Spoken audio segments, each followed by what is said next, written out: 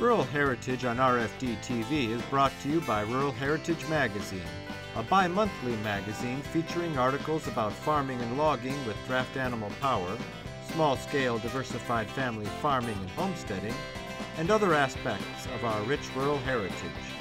Rural Heritage Magazine, borrowing from yesterday to do the work of today. For subscription information, please call 319 362 3027 or order online at www.ruralheritage.com. Hi, I'm Joe Mischka of Rural Heritage TV and Magazine. A few weeks ago, we introduced you to Ansel and Brittany Bachman, who operate Patriot Farms in Lenhartsville, Pennsylvania. We learned how the young couple got started market gardening and how they've grown their operation in the past five years. Today, we're going to ask them to continue that story as they show us around their farm and the many hoop houses they use to grow vegetables and greens, as well as their pasture raised pork and chicken eggs. And of storage. So why don't we just go into H2? Yeah, I guess. This is H2, and this is where our wash pack area is. This was the greenhouse I built in 2017. That was the first one I built in 2015. stinky. Smells like compost a little. So Yeah, it's our fine. Pack area. Um, it's heated in here minimally in the winter, Yep. so it's kind of perfect for the wash path. So we set this up um, as an assembly line. So say we come in with lettuce, right? The first thing it does, um, these tubs fill up with water, and they have Hudson valves. So we just plug up the hole at the bottom, walk away, and they'll shut off once they're filled. Okay. Yeah. Green, Um, green bubble. Greens bubbler. So right, so they come in for their first wash, and then they'll go into the second wash, and then we we make a jacuzzi essentially. So the the water gets like bubbled, like the lettuce gets bubbled, and then they'll come into one of two Yeah, we spinners. use the shop vac in reverse through PVC pipe with eight Holes inch in it. holes drilled in it, and then I can weight it Yeah. down, and that's what creates the Yeah, bubbling. these are the waves. Yeah, it is so supposed to have a jacuzzi motor. It's supposed to get wired in, but honestly, at this point, I'm not even going to change it until we're because you're moving. building. Yeah. Yeah, Unless yeah. that thing dies on me. That's like year five on that shop vac. That's Brand awesome. Brand new shop Yeah. vac. I cannot believe that it's still running. Yeah, that's Yeah. amazing. so um yeah, so then then right, so then it'll come in. Because it's got to push pretty hard to get Yeah. that aerating. Yeah, you would think that it's good, but hey, it's It still works. running. Yeah, and it's what is pretty that, cool. So then it comes in our salad spinners. So we have two salad spinners. salad Yep. Um, nice. Like, come and get salad uh, spun, and then it gets put in uh, trays holes in them, and then we'll stick um, like a fan on low on top of like we'll put the fan literally right on top to really not get it overly dry, but to get rid of the excess moisture that the, the spinner Spinner did get, yeah. And then we set up scales on here, and then we pack it out. Um, it gets reported, it gets packed out, and then it gets put in a Vermont cart and taken to our walk-in. So it is like a little assembly line. Uh, it's really in the summer. It gets really hot in here. We put two layers of shade cloth on this, um, and as soon as something is harvested and packed out, it has to get put in the walk-in. So Or we to do- wilt. Yeah. So we do a ton of back and forth, and it's obviously not efficient. These watch back here, we're getting a mobile or a, a kit basically that you assemble of cooler panels. So it'd be a, the walk-in cooler will just get put together as a kit on the concrete floor inside the wash pack. And then our current wash pack that's outside will become a tomato ripening room. So Okay. That'll be kept a little bit warmer at about 55 degrees instead of 38. And then that's where all the tomatoes are going to go to, to store them. Uh, Um, here's a farm map that Ansel drew up, so you can Oh. kind of see Yeah, everything. I love that. So, um, yeah, you Ansel's can see past my life. surveying background. Yeah. I still do CAD work. Same with our task tickets. I made those. Yeah, so Here. right here we are now. Our walk-in is all the way over here, so it's- it's so inefficient.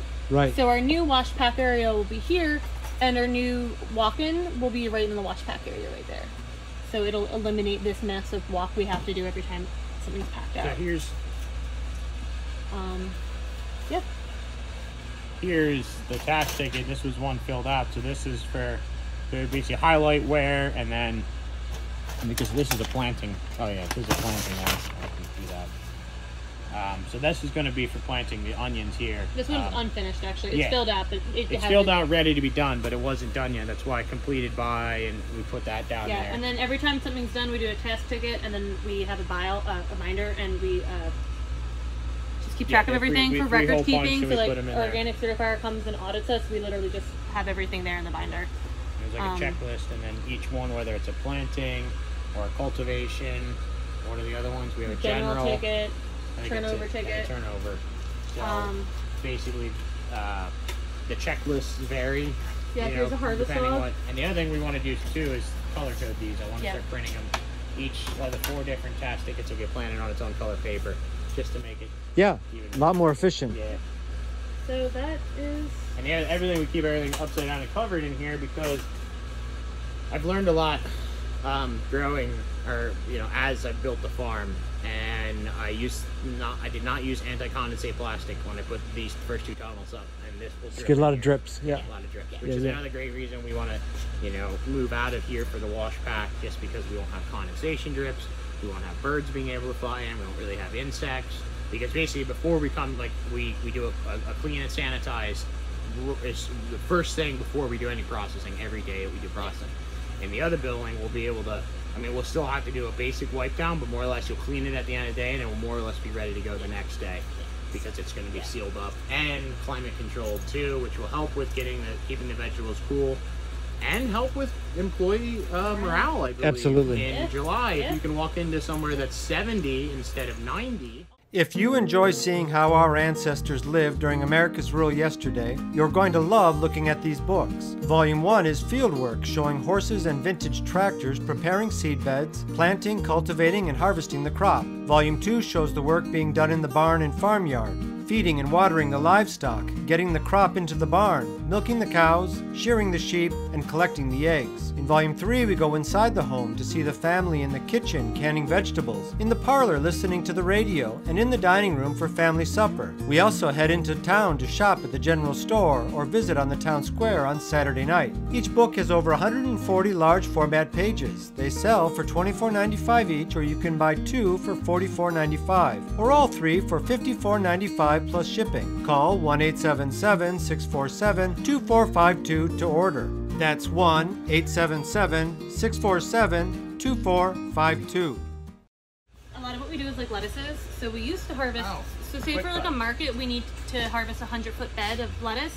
We do it by hand with a little knife, and it would take hours, and we'd be miserable. or one either, of these either a little Johnny's knife or one of those But then- lettuce knives. Uh, have you seen the greens cut harvester? No. This is All right, also this thing from is a dream. Thread. Another another tool that runs off of an 18 or 20 volt See drill. with the battery in, uh, this blade here oscillates back and forth. These noodles spin. Um, get a battery so we can show them. And then it flings the lettuce into here. A little basket. To Really? yeah, it's um, And so it doesn't bruise the lettuce or anything because you've got Yeah, the it's- little. Okay. The, the trash bag on the top was because we realized it would fly out the back a little bit. and then you just like walk it over the lettuce, like so you, Come on, cut it. Okay. and, We then do a little back and forth Wow. action with it, and so go. right, so now we've just cut and it's Uh, completely rebuildable too. wh- where it would Right. take us They- an hour or two and like a broken back to harvest a hundred foot bed of lettuce. Five minutes now. Yeah. So Really like speed- and then you can just dump it into a tote. yeah. into So one then of our this red is harvest open, totes so you it slides. just dump it like that into Yeah, a it just slides out into the tote. and um, super dreamy. You and we just Um, ordered more. The blades are replaceable. Like everything's on there is replaceable. So we actually just ordered another basket for it because we want to take them off, take this one off and wash it. And, uh, but I mean, any part on here, any screw or whatever, So- you can order each individual part through Farmers Friend right on the website. That's just terrific. Yeah, There's because not a lot of, pump, you know, I mean, people Well- don't make things to be fixed or rebuilt anymore. and people don't make things for medium-sized operations. Yeah. They make things for large scale, Yes. or they make things for the hobbyist. Yes. But this is just There's perfect. been a huge resurgence with like There's- just like this size farm. Yeah, Um, the, the one acre this- market garden yeah. in the last couple of years, there's a lot of small tool manufacturers, Yeah. Farmer's Friend being one of them, Neversink Tools being another one. Um, This Neversink was- was a farm yeah. that sells. This was around seven or eight hundred dollars this unit. Yes, I think it still So is again, about the like same it's a big but- investment, but it pays Oh, for sh- itself easily. And that obviously it didn't come with the drill. Right, right, right, right, You sure. You can use any drill, you know, if you have a Ryobi or whatever. So- any- Right. Any cordless drill. really, this has been awesome. Um, yeah, so this thing is super. Yeah, uh, you may have seen I had communication on the farm.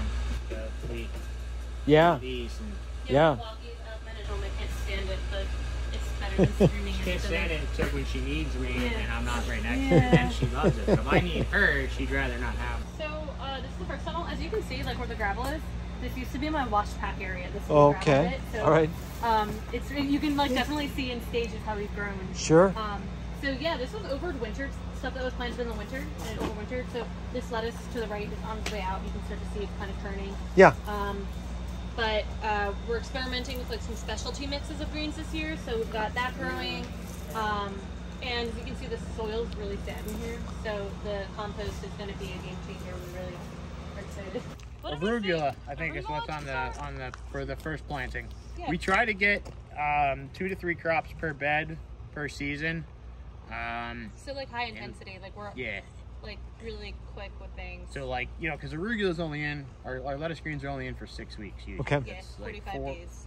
four weeks to maturity with two harvests, Yeah. kind of thing, roughly, give or take.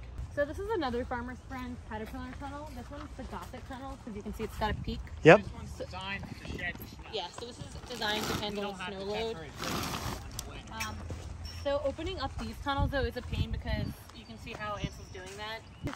So we've got some spinach that was overwintered. Um, some frost spots that got kind of blown around. It needs to be cleaned up again. Um, but uh, yes, we've got carrots in there. We did cucumbers in, here last year. Uh, we've got the overhead watering. We have drip lines in here, and yeah, so that's what's in here. Again, this will get compost in it because the soil just doesn't look happy. Like stress, right? Like the stress has been like real. Like Yeah. um, um, we did a lot really quick. Like we've been able to grow really, really fast. But on the flip side of that, like it's chaos all the time. Yeah. Like cortisol, my stress levels through the roof all the time, um, which isn't sustainable. Are you are you about as big as you want to be? Yeah. Now you just want to get yeah, more we efficient. Wanna, we want to learn how to what we've got. We want to get really good at growing with what we've got, and we don't want to get any bigger. Other than uh, like branching off with the pasture pork, maybe expanding Right. that into more of our woods. But Right. yeah, this is the extent of how big we want to get. Um, that's our walk-in cooler, so you can just see how inefficient it is, like how far we have to walk. Yeah, yeah. Um, Right, right. Super grateful to have it. You know, if you're harvesting all the way over on the other side of the wood Yeah. pile, To get to the wash house. to go back there And to bring to it go back. here. Yeah. Right, It- right. doesn't make sense, Makes especially no because we don't have a golf cart or anything. Yeah, we have little. and I don't know carts. if we want to go that route.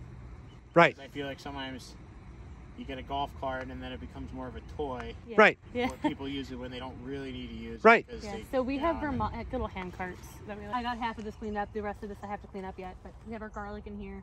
Planted Basically, garlic, this was chard and kale. We pulled the kale out and put the garlic right in the same plastic last year. and we'll probably liquid And that's the it. first time we uh, Ever grown garlic. ever grown garlic. Planted this on Christmas Eve. Planted it incredibly late, but um, Couldn't believe it. couldn't believe it. It's actually growing. Still grow. Yeah, Mo- still most growing. all of it too. Yeah, like Yeah. did really well. Yeah. Um, I am able to do something that's low carbon emission. I get to use animals that are lovely to be around. The work I'm going to be doing is the best work I can think of. In my opinion, we're definitely at a critical moment that the work we do today will greatly affect tomorrow.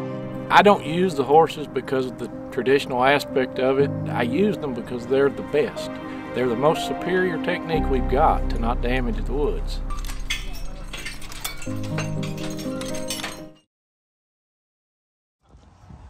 so that's Abby. She's a gilt. She's just bred. Uh, she'll farrow in June. I just confirmed it. I have like a little Preg-Tone reader. Yeah, she's all spunk. She's That's my, she's an old spot. You like that, huh? You like the scratches? Ooh, what's your ears? dude? Say hello to everyone. Hello, hello. You gonna open your eyes and say yeah, hi, or so Yeah. my breeding stock is my babies. I don't get attached to the unwanted, like the little babies, but Right. my breeders are my girls. Right, right. So, um, yeah, so uh, they get overwintered. Um, they're separated right now, Martha and Abby, because Martha just had her babies. Yeah. But in the winter, they're together, um, and we bed them down really well. and Um, and they actually do. sup- definitely creatures of herd creatures Yeah. because she has this whole paddock. Right. You know, I Yeah, she's- over there. yeah. She just wants to hang out here. Right. Yeah. Right there, so she's making it less like. which we is why we put straw. the the farrowing ward right, so they could still see each other. Um, but yeah, they do surprisingly okay out on the out in the elements in the winter. Like we bed them down like, Sure. really well. And, Right, right. Sure. um, And these porta huts, are you familiar with these? Yeah. Yeah. So we get them. I think they're just made out Midwest.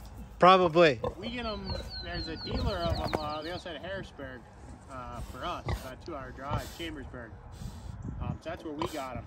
But I feel like they're from Illinois or They're somewhere. Iowa, somewhere out that way. Um, they make ones even like this is the small one, and that's, That's the the- next size, and then they make bigger ones even for like cows or whatever. What's So- up? What's up? She's a, yeah, so she's she's all spunk. They all have their like personalities. She's like a dog. She's like my favorite. She's terrific. She's great. Um, yeah, so it's been really wet this spring, so normally we don't like how muddy everything gets, but we're trying to keep everything kind of bedded down. Um, hi Martha. They get weaned in two weeks. Two, Three. three, three weeks. So we start them in this because you don't want to start the babies on the electric. Right, right. And then we'll actually Martha. remove this.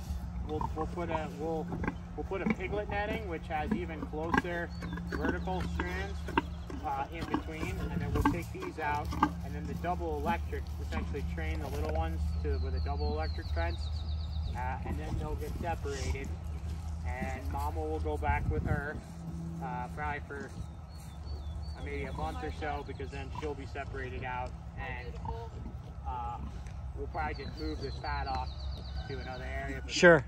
You know, the idea is the chickens are going to come down and fall around, and then we can go down below. These are the cubicle mounds I was talking about. Okay. All right. A lot of settling, and I need to do some more work on them. They're actually Sure. probably going to get some more topsoil on them, um, and then we're going to plant strategically plant some different uh, fruiting bushes or medicinal either bushes or or shrub or, or uh, trees. You know, obviously I'm not full sun in here, but I'm not full shade either. Right. Yeah, yeah.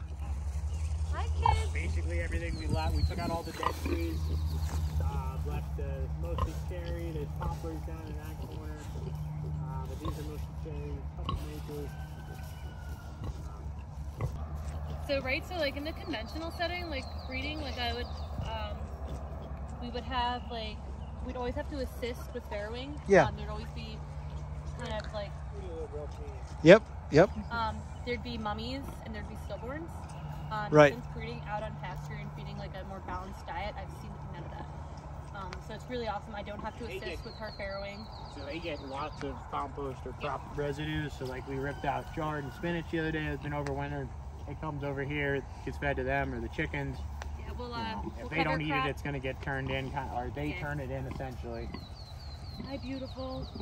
Um, so yeah, it's just it's honestly crazy just to see going from like one extreme of farrowing to kind of this, and um, the babies are thriving. It's super What does the um uh, breeding of the boar? Oh, he's they're large blacks. Okay. So it's large black old spot crosses. Which uh, is they're why both we heritage get the little breeds. black black piggies with pink feet. They're so cute. Sometimes little pink noses. Um, They are super cute right now. They are they are terrific. Hi, I'm Joe Mischka of Rural Heritage Magazine. I'm on location of one of the many events we cover that celebrates our rural heritage. If you enjoy our show, check out our magazine, where you'll learn more about the people that blend the past with what works today. You can save almost 20% off the newsstand price by subscribing at ruralheritage.com or chat with us at 877 647 2452. That's toll free 877 647 2452. We normally don't like ever like having like a area get to speed up with mud and stuff. Sure. overgrazed essentially, but it's just this season. It's just kind of what it is. But we have the mobile coop, so it's. Do you want to demonstrate that? Yeah. Isa? Um, we've had a bunch of different chicken coops, This is and still this on. is so. the coop of my dreams. It's Uh, Justin Rhodes. Yeah, yeah. This is his design. yeah. That's how he moves the coop. And he's got a really good uh, podcast Yes, yes, we love this. Yeah, love or a video cast, I guess. Or Yeah. So essentially, that's how yeah, we move it. yeah. It's awesome. Move it forward like a section of the deck, like that. And it used to have a kickstand, but the hinge broke, so I just do this. And that's because if uh, if they all go to Right. at the end of the night, it'll pop like this. And, Right, right. That's a problem. And, you know, sometimes we forget to move the thing and come to the back next morning like, oh, the, the coop's doing a wheelie. you know, well, and it's not even, you know, saying you know everything. It's like, well, we were doing it this way. We've invested this money. We got to keep doing it this Yeah, way to right. get something back out. Right, it. whether it's And working or not. You keep doing it like like let's take the loss there because if you try to keep doing something that's not functioning, it's not working. It's only going to take you farther down the hole of things are n- are not you know the way you want them to be, and you know it, a tool that we might have spent a lot of money on and now don't use. You know we're, Right. we're we have some of those now, and it's like, Right. well, yeah, and that's for me. That's a big thing. Even with vegetables and stuff, and I'm Oh, getting you're better. the at. Like it's like end of the year, and like, no, we can't root the last tomato. out. I want tomatoes in December. Like you know, like trying to hold on to the last, you know. Uh, And that's one thing we really, you know, are realizing with the market gardening. In order to to be consistent and be able to nail our successions, we have to sometimes rip out something that maybe we didn't want to rip out. And I'd actually gone around and you see there's a gourd. So I threw a bunch of pumpkins and gourds on here after the wedding last year. Just to let them volunteer Yeah, seed. yeah, it- exactly. So that's Yeah. like one of the things. And then um, I'd like to put a couple. So like the idea is on the downhill side, on this side, you would plant a tree, you know, somewhere here. So Right. way To hold it back. being Caught, it's absorbed, it's held, and then the Yep. plants or the trees can utilize it. Yep. Um, you'll see this, but as part of permaculture, I discovered Hugel mounds, like Sepp Holzer's thing that he does over in Swiss. Are you familiar with Hugel Not a bit. Okay, so uh, a Hugel mound I'm very proud of is this people mound. uh, a mound um, built on contour, and you usually start by scraping a, a small ditch, and then you take all your your brush and your slash and stumps and stuff like that and wood, and you put it in the ditch, and then you rebury it with soil or compost and stuff, and then you plant on it. And it's on contour, so it catches all the water and anything that would be eroding and holds it there. And then you can grow crops or fruit trees or whatever. So we established two of those last year. So basically, um, we have some slopes over there. They're not nearly as steep as you know uh, some of the other examples of the Hugel mounds that I've seen in Europe or whatever. But I was like, well, we want to do pasture blocks. I'm like, I don't want to be losing fertility, you know, Right. runoff and stuff. Right. So we put in these Hugel mounds, and we have areas that we get. We can get about ten pasture blocks. They're you know, what about sixty by sixty, Yeah. maybe, or a little give or take. You know, for per pasture block, and then we move them every couple weeks. Um, and it's through the woods, but we're you know it, it's sparse woods because we have a, a problem around here in the last several years. The ash borer beetle, Mhm. it's Yeah. killed off ninety five percent of the ash trees. Sure. Sixty percent of the property I bought back there in 2015 was ash. Sure. So it was all dying anyway. So we took a bunch down, um, cleared an area completely, and that's where we're growing vegetables now. You know, an acre worth, put in a bunch of field blocks, and then um, just took out the dead of another section, leaving all the living trees, that, which is mostly cherries, poplar, maple, on that piece of ground. I don't really have any oak over there or anything and um, that's what we're using for pigs right now, and where we run, and then we follow the chickens behind them essentially to do the whole scratch out the manure. And we, you know, last year we were building a Hugel mound, so like, you know, things were in transition, and we weren't 100% ready to use all the space for pasture. So, but I think this year our rotation will be the best it's been. Yeah. Yeah, so I guess we've been doing this like full time since 2018, and I think we kind of just dove into it. I had never grown vegetables before, so naturally I ended up with a vegetable farm. Um, and Ansel had never worked on a farm before, so we've learned everything we've learned through like books, Books and insert YouTube. massive pile, and like like online video courses essentially. Oh, essentially. and yeah, and master classes. yeah, We bought master classes. couple We did a bunch of those. Um, we've learned a lot of what not to do. a lot of that. But the way we've learned not to do things is not by listening to someone saying don't do this, it's by doing it when they said don't do it and then going, that's why they said don't do it. Yeah. This program is available for purchase. To order your copy, please call 319 362 3027 or visit www.ruralheritage.com. Rural Heritage is a bi monthly magazine dedicated to draft animal farming and logging, as well as other aspects of our rich rural heritage. It is published by Mischka Press, which also offers a complete line of back to the land books, DVDs, and calendars. Call or write for a catalog or subscription information, or visit our website at www.ruralheritage.com.